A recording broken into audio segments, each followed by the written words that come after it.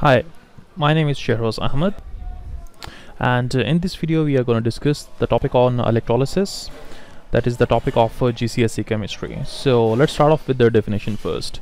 So let me just write down the definition over here. So electrolysis it's basically we can say it's a chemical decomposition produced by passing an electric current through a liquid is called electrolysis. So I'll write it over here. Chemical decomposition. Um, produced by passing electric current.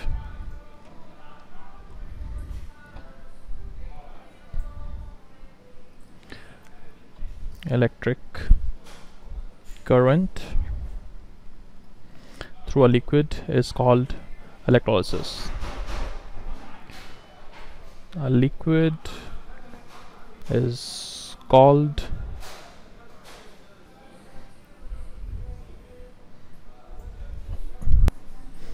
is called electrolysis. So here's the formal definition of this uh, process of electrolysis so now let me just draw a figure and uh, let me just explain you the components that we use in the process of electrolysis. So let's suppose electrolysis in simple words is basically the passing of the electric current through the liquid. And that liquid could be anything any liquid. It could be some acid it could be some aqueous solution it could be some um, molten um, molten compound.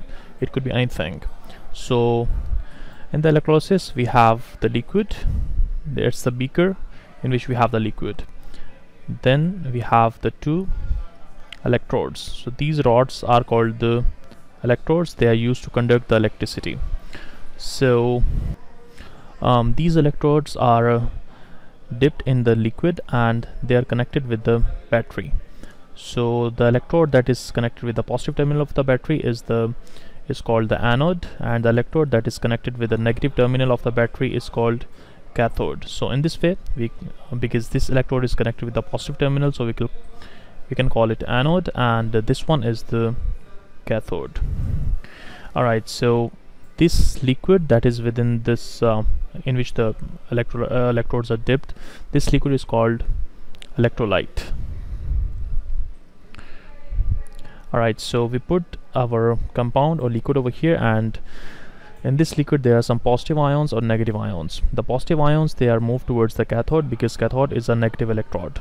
And uh, the negative ions they move towards the anode because it's a positive electrode. So due to this movement of the ions the current flows through this electrolyte and this whole process is called electrolysis. So uh, let's do an example by which we can explain this electrolysis. Alright so the first electrolysis that we have to do is for the molten NaCl. So molten NaCl means in this electrolyte has the sodium chloride in the molten form. So it has uh, sodium ions and the negative ions. So the molten sodium chloride will split into the positive sodium ion and uh, the negative chloride ion so I'll just write the positive sodium ion and negative chloride ion in this electrolytic solution. So this is positive ion of sodium and uh, this is the negative ion of the chloride. I'll make another one over here another one over here. So these are the positive and negative ions of sodium and chloride in this molten NaCl solution. So when the current passes through the uh, these electrodes it will start off from the positive terminal and uh, pass it through these electrodes and then and set the negative terminal. So these uh, positive ions they will move towards the cathode and these negative ions they will move towards the anode. So since there is a movement of the so we can say that the current is flowing because um, the chloride negative ions are moving towards the cathode and the sodium positive ions they are moving towards the cathode. The chloride negative ions are moving towards the anode so this is how the process of electrolysis takes place. So in the process of electrolysis we have to write down the equations the chemical equations that will be at the anode and the chemical equation that will take place at the cathode. So I'll just write it over here what the reaction at anode and the reaction at cathode. So first of all I'll write down the reaction at anode. So as we can see that the chloride ions are moving towards the anode so what will happen? The chloride ion it will move toward the anode. So in this way the chloride ion will become chlorine gas and leaves two electron give two electrons to the anode. So this will be the reaction at the anode. Now we have to see the reaction at the cathode. So as we have seen that um, sodium ion is moving towards the cathode so we can write it over here as sodium positive ion. It will accept these two electrons. So there are two sodium ions that have accepted the two electrons and they have become the sodium metal. So we will get the chlorine gas at the anode and the sodium metal at the cathode. So this is how we can write down the equation for the reactions at the cathode and anode Alright, so after that one we have to discuss the electrolysis of uh, dilute NaCl. So dilute NaCl is basically it's the, the sodium chloride that is mixed with the water. So sodium chloride and water. So within this electrolytic solution we we will not only have the sodium and the chloride ions, we will have the hydrogen ion and the hydroxide ion.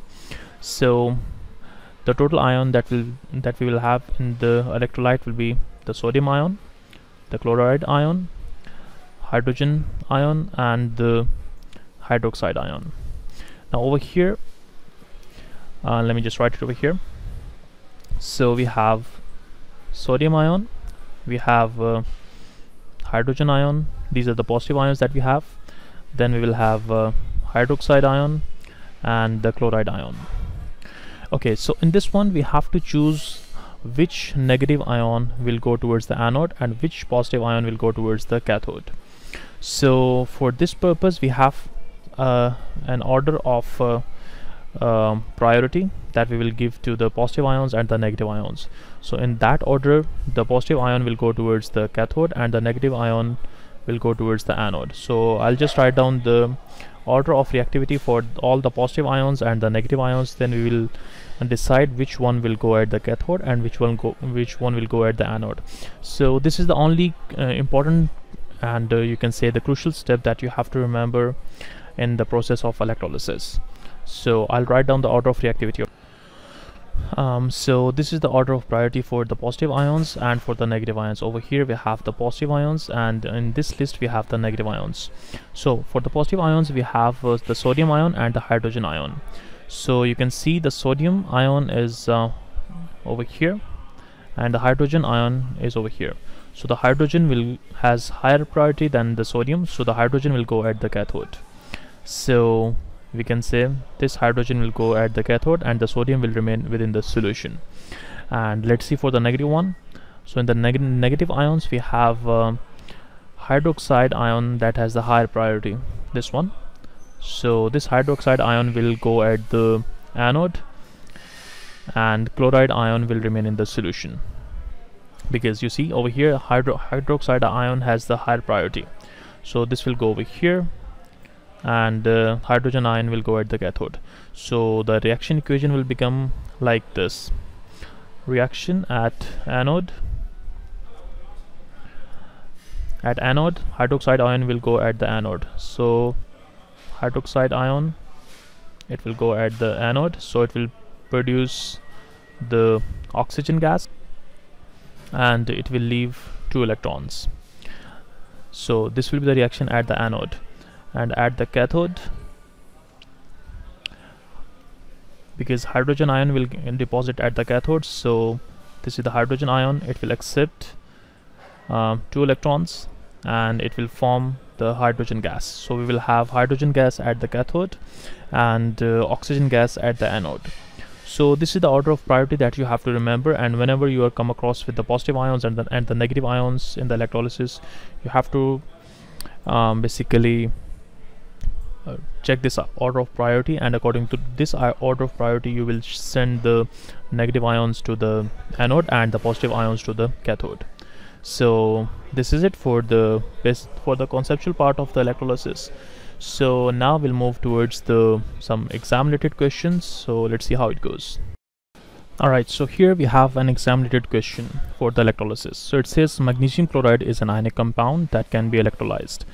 Figure 1 shows two experiments by which magnesium chloride undergoes this process. So we have been this process, we have been given this process. In this one we have two electrodes and an electrolytic solution in which we have uh, the molten magnesium chloride which means it has only the magnesium ions, magnesium positive ion and uh, chloride negative ions and then we have uh, the magnesium and the molten magnesium chloride dissolved in water it means we have the magnesium positive ion the chloride negative ion we have the positive ion for the hydrogen and we have negative hydroxide ions so these are the two uh, experiments that we have been shown now let's move on to the quick Alright, so here we have the question. It says explain why so solid so, uh, solid magnesium chloride cannot be electrolyzed and give the necessary conditions for the elect electrolysis to occur. So in the sodium, uh, like in the solid magnesium chloride, um, the magnesium and the chloride ions they are tightly packed. They are tightly bonded by the um, uh, by the ionic bond. So magnesium has positive charge and the chloride has negative charge. They are connected by the strong electrostatic forces of attraction. They have the ionic bond between them. So in the solid form they have they exist in the form of a in in the form of a solid lattice. Okay so this is the first reason that you have to write it so this is the first reason that you have to write. Magnesium and chloride ions are tightly bonded by strong electrostatic force of attraction in solid form. So that's why they are uh, they cannot be electrolyzed. Okay, so the necessary conditions for the electrolysis to occur are it should be in the molten form or it should be in the aqueous form. Aqueous form means that the sodium chloride is uh, mixed with the water. So when when this uh, when the magnesium chloride when the magnesium chloride ions are in the molten form then we have the positive then we have the positive magnesium ion and the negative chloride ion. And when it is in the aqueous form we have also we also have the positive magnesium ions and the chloride negative ion but we we also have the hydrogen positive ion and hydroxide negative ion. So when they are in the molten form or in the aqueous form then they are then the ions are easily um, they are they are able to move. So we can say the ions will be able to move freely.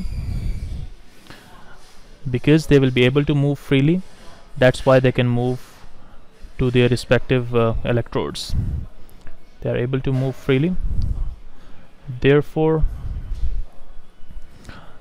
uh, the ions will move to their respective electrodes and the process of electrolysis will take place. Electro ions will move towards their respective electrodes. Like the positive ions will move towards the cathode and the negative ions will move towards the anode. So these are the four points that you have to mention. And uh, now let's move on to part B. Okay so in this one it says justify the production of uh, magnesium metal at the cathode in experiment A. So let's go back on to experiment. So this is our experiment A. So we have to justify that the magnesium or basically uh, the, mag the magnesium metal will form at the cathode. So this is the negative electrode that is called the cathode and the other one is the positive electrode that is called the anode. So let's write down the reaction at the cathode. So at cathode what happens is we have right now we have uh, the magnesium positive ion and chloride negative ion. So this magnesium ion positive ion will move towards the cathode and the reaction that will happen at the cathode will be like this. Mg plus 2 it will go at the cathode and it will accept two electrons. So when it accepts two electron it will become magnesium metal. So we have two atoms of magnesium metal that will that will uh, be formed at the cathode. So this is the reaction that we can write for the um, magnesium metal uh, so the points that I have to mention is number one magnesium positive ion will move towards cathode will move towards cathode. It accepts two electrons from cathode or it accepts two electrons from yeah from cathode. And then we have to write down the chemical equation like the reaction that will occur at the cathode. So it's like mg plus 2 because it has a plus 2 charge so it will accept two more electrons. And uh, once it accepts it it will become magnesium metal. So then you can say it accepts the two electron and magnesium metal will be formed at cathode will be formed at cathode. So these are the points that you have to mention to justify your answer that the magnesium metal will form at the um, cathode. Now it's in part C it says identify the gas produced at the cathode in experiment B. So now we have to check the experiment B. And in experiment B we have to check like which gas will be produced and uh, which ion will go towards the cathode in experiment alright so here we have the experiment B. So in the experiment B we have the molten magnesium chloride which means we have uh, Mg plus 2 ion in the solution. We have chloride negative ion in the solution. We have uh, hydrogen positive ion in the solution because it's a molten magnesium chloride dissolved in water. So due to the water we have hydrogen positive ion and hydroxide negative ion. So the ion that are that will be that will go towards the negative electrode will be hydrogen positive ion and the magnesium positive ion. So in these two ion as we have discussed in our order of priority hydrogen has the higher priority th priority than the magnesium metal. So this hydrogen ion will go at the negative electrode and it will become and basically it will accept the electron and hydrogen gas will be produced at the cathode. So the answer for that question is hydrogen gas so I'll write it here as hydrogen gas. Now explain why magnesium is not produced at the cathode in experiment B because according to the order of priority um, hydrogen has uh, uh, because magnesium is more reactive than hydrogen so the magnesium will remain inside the electrolyte and hydrogen will produce at the cathode. So I'll write it here so basically the ions that are more reactive they remain in the solution and the ones that they are that are less reactive they move towards the uh, electrode their respective electrode. If it's positive it will move towards the cathode. If it's negative ion it will move toward the anode. So I'll write it here. Magnesium is more reactive than hydrogen. So I just write magnesium positive ion then hydrogen negative uh, hydrogen positive ion. So it will remain in the solution. In solution. And um, hydrogen gas or hydrogen ion will go towards cathode.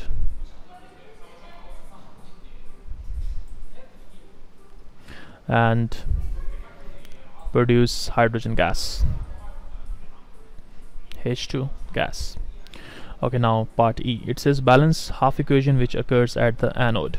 So anode okay. So basically over here there's a small error. This is Cl2 so two ions of chloride produces on the chlorine gas at the anode and as a result of that it will also produce it will give off um, two electrons to the anode. So this is the question for the electrolysis. It's an exam related GCSE chemistry question for the electrolysis that I have done in front of you. So the most important thing that you have to remember in the process of elect electrolysis is the decision the decision that which ion will go towards the anode and which ion go, will go towards the cathode.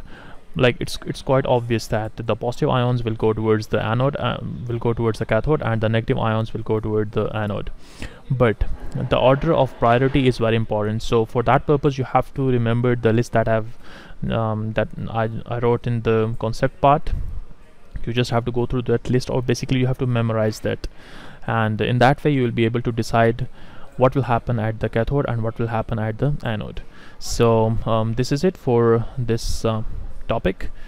I hope you i hope you liked it. So i hope you understood my con like the video. So thank you so much